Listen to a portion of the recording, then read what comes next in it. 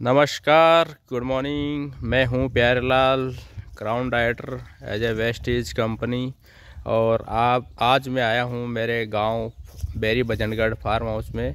और आप देख सकते हैं, यहाँ हमने ये प्याज की फ़सल साढ़े छः बीघा ज़मीन में यहाँ कर रखी है। और कितनी शानदार और खूबसूरत, कितनी हरी भरी और ये फ़सल आप लोगों के सामने यहाँ वीडियो बनाने का मेरा पर्पज़ ये कि सभी किसान भाइयों को यह संदेश देना है कि कम लागत के अंदर और अधिक पैदावार और जल्दी ग्रोथ करें, जल्दी प्याज की फ़सल हो, ये आप लोगों को मैं मैसेज देना चाह रहा हूँ।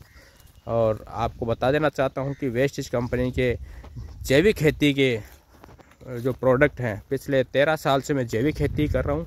ना कोई यूरिया डीएपी या किसी तरह का कीटनाशक मैंने ज़मीन में नहीं दिया है। और आप देख सकते हैं, प्याज के अंदर भी मैंने कोई किसी तरह का कोई पेस्टिसाइड नहीं दिया है।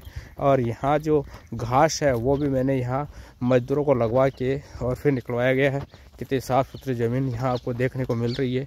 तो मैसेज यही है कि जैविक खेती अगर हम करेंगे तो पैदावार अधिक लेंगे और जल्दी लेंगे। और हमारा देश है, वो बीमार होने से बचेगा। तो किसान भाइयों को मैसेज यही दूँगा कि हमारी ज़मीन में किसी तरह का कोई कीटनाशक ना दें और हम, हमारे परिवार और देश को बीमार होने से बचा सकें। Thank you thank you so much